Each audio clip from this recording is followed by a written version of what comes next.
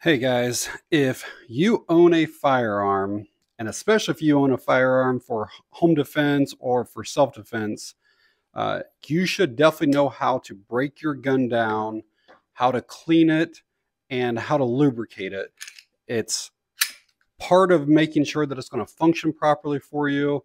Um, so that if you need to use it, it's going to work right. You know, cleaning and lubricating your pistols or rifles or shotguns uh, just make sure that they're going to function properly. There's a lot of moving parts in here and a lot of metal on metal. Um, I like to clean my guns after every single range trip. To me, it's therapeutic. I just enjoy doing it. Um, it doesn't matter if I shot 10 rounds or 500 that day. I will come home and, and clean my gun. Uh, we'll make sure that it is safe here. And so that's basically taking your slide off. There's some variances between pistols, but that's that's the majority of it. And then here you would just take out your guide rod and spring, and then the barrel would slide out. And for most people, that's all you need to do. Uh, and then we can start the cleaning process. Every once in a great while, I'll pull like a, the back plate off and put, take that striker out. Uh, but for most just general cleaning, that's all you need to do. It literally just takes a few seconds. And as you can see, I only shot two magazines through this at the range today. So it was what, 24 rounds. And you can see the feed ramp here. It's filthy. Barrel's got all kinds of stuff on it. So I'm just gonna kind of clean things up here. So the purpose of this video is not to show you how to clean a gun. Um, it's more to show you the products that are needed to, to clean a gun and to show you something that might make things a little bit easier and more convenient for you. So for the last probably like 15, 20 years, I honestly kind of use like a hodgepodge of stuff here. Uh, I got patches. I usually use two by two or three by three, but generally two by two is what I will buy. Um, this here is kind of like one of like my main kits. So the blue towel in here is what I usually will put down on the table. And so this would go down first, and then I would usually lay my gun and stuff, all the parts, stuff like that on that thing. Okay. And then in here, I just use these old toothbrushes. Actually, I buy them brand new. Um, you can get like a six pack, I don't know, for a few dollars. They're not like real expensive.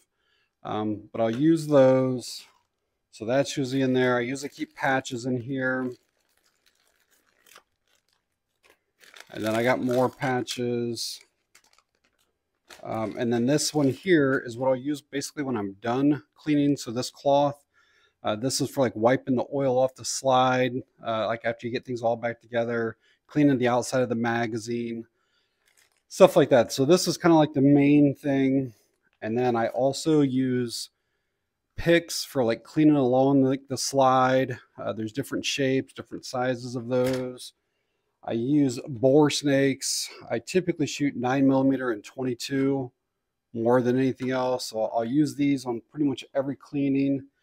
Um, and then I have like a rod and then like the, the tip that would go on the end, almost like the brushes for those.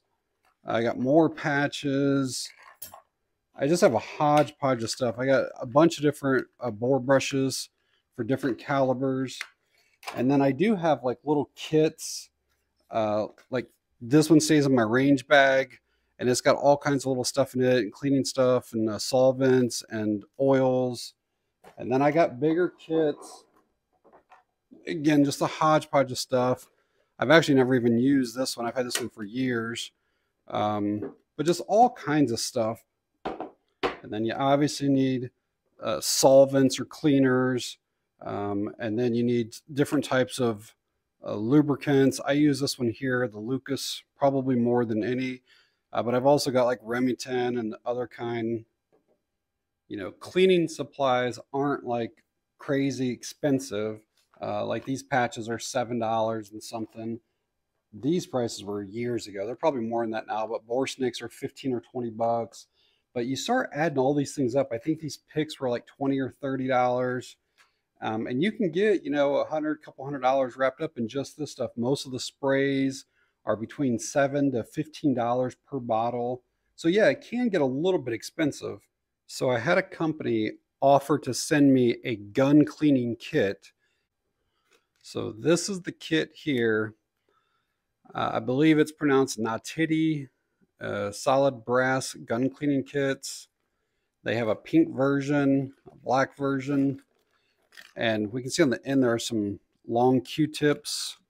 And I forgot to mention in this patch there, or that bag there, I do keep Q-tips in that, and those get used a lot. Um, so there's the information. Uh, these are available on Amazon um, and I think on Walmart as well.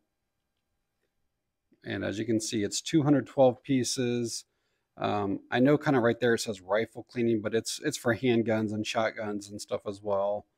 Um, but it's got a lot of stuff with it. So I figured we'd do a quick unboxing, kind of see what this is all about. I'm going to clear all this stuff off the table so that I have room for the new gun cleaning kit. All right, we'll kind of get into this here.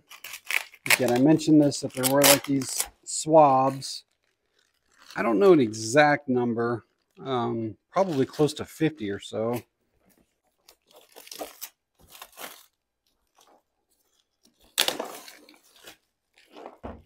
All right, so there is a gun cleaning mat that's included with this kit. So that's actually pretty nice. There's a little bit of a crease in it right there from how it was in the package. That'll probably work itself out. And again, this is what I was kind of using before. I would just throw that down.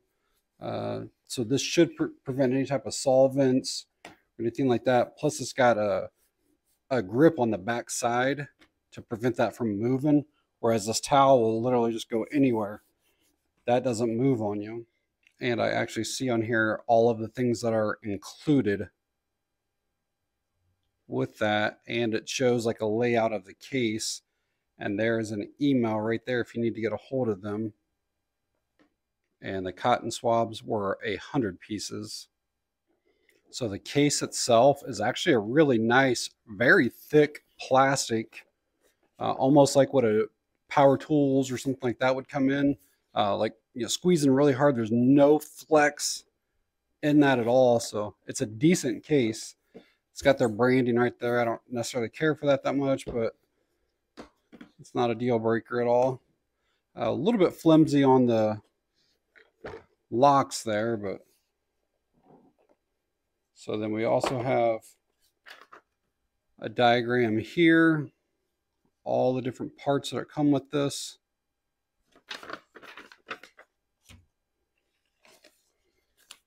And this looks like something just kind of separating the two sides. So starting here at the bottom of this case is a little bottle, like a plastic bottle. You could use this for oil um, or for solvent. It's not a great bottle though. And this thing here looks like it only comes up to allow you to squeeze it. There it kind of locks it off. Um, I prefer something with like a real small, like almost like needle point tip on it. And I would probably just take my little bottle and just throw it in there and leave that and not use theirs.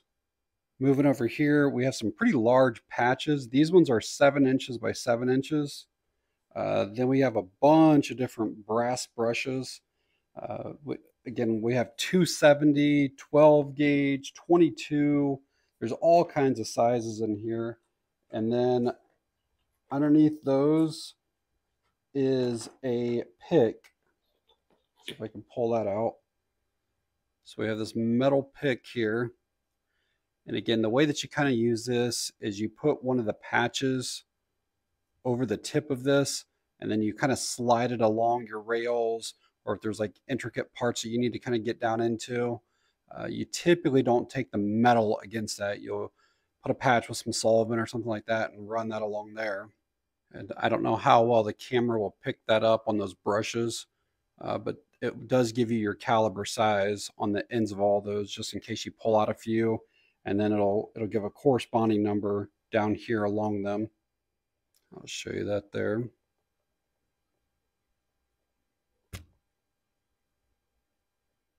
And just for any of you that are new to shooting or to guns, if you look at your brushes or the mops or the uh, patch holders and you don't see something for 9 millimeter, a 357 uh, works just the same uh, for 9 millimeter. So like if you look here, it'll be for a 357, a 38, or a 9 millimeter for that brush. And for those of you that don't know, like you would take your brush and put it on the rod, and then you take a barrel and you basically, I only like to go in the same way that the bullet would travel. Some people don't care. They just go back and forth. It doesn't really matter to them. Um, if I were using a brush, I typically will push it through. I'll actually unscrew it, pull the rod back out, rethread it, and do that several times with solvent on it. It's probably not necessary to unscrew it, but it just kind of protects that rifling. You can see how dirty that barrel is. Uh, but you see those little grooves in there? That's the rifling of the barrel. So then after you've ran a brush through a little bit, you could then grab one of the mops. And like this again is the 357 one. Again, nine millimeter. You could put that on and then run it through and it kind of basically starts cleaning the debris that the brush kind of got loose in there. There were 14 of the brushes and only nine of the mops as you can see, 12 gauge, 20, 50 cal, 410, 357, 22, 40 cal, 30, and 17. So you've done your brush, you've done your mop. Next up would be uh, running some patches through. Um, I don't know if these are actually marked in sizes or not. I was trying to see here, but there are different thicknesses of these for different barrels as well. Obviously, you can see there's different sizes there. And you could still take a patch and you could still put some solvent on it if you want. And then basically you fold that up and you would feed that through the little eyelet there. And again, once that's on, you could have your solvent on there. Then you can feed that down through your barrel as well. Again, some people like to push it through and then pull it out um, and then pull the rod back through without the patch on there. Some people just ram it in a bunch of times. I don't know if it makes a huge difference either way. So these little things right here are some adapters. Uh, not every single thing just screws into the end of this rod as it is. So like let's look at this 12 gauge uh, mop here and you can see it obviously doesn't fit. So what we would do is take one of these little adapters, put that on there, and then that should fit that. And then I didn't show it yet, but where I got this from is up here in this, and there's a couple different ones of these handles. And then there's a whole bunch of extensions. Because obviously, if you're trying to clean a 12 gauge, this right here would not even get halfway down your barrel. So what you do in that case is you just add on these types of uh, extensions. And there's several of those that you can add to you know, if, if you've got a 20 some inch barrel, whatever, you can add as many of these as what you need to get to the length that you need.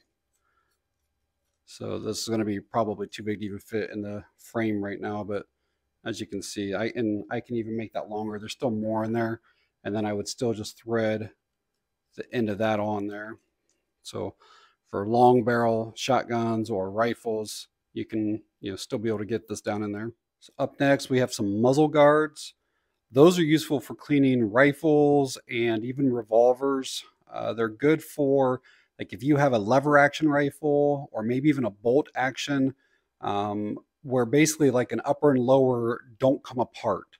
And so you could take this and more or less put it like on the end of your muzzle. So pretend this is a revolver. You would take one of those muzzle guards and put over it like this here.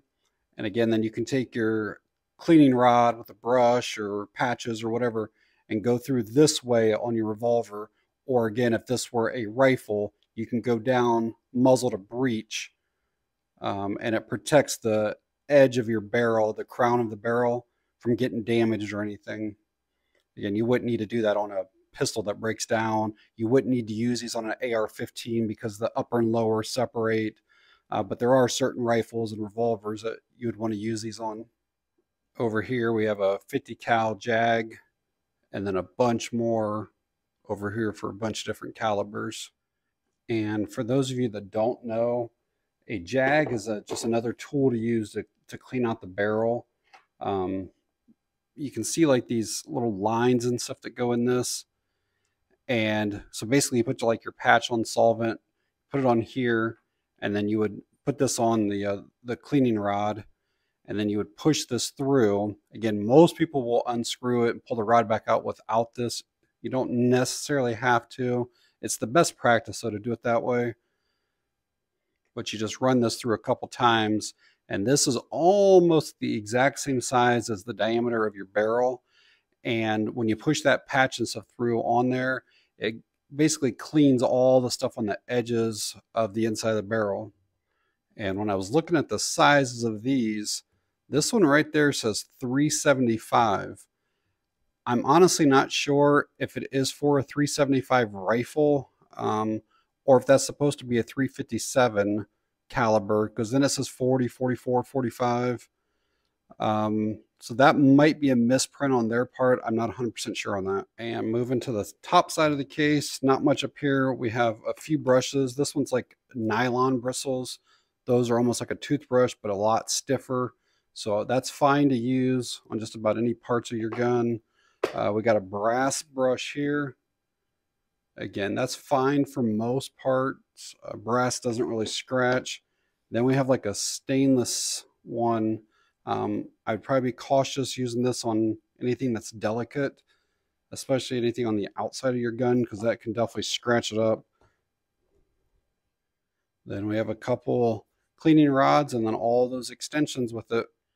So at the time of me recording this, these are coming in at $36 on Amazon. It says it's 212 pieces. Now, 100 of them are the swabs. They are long and wooden handle ones.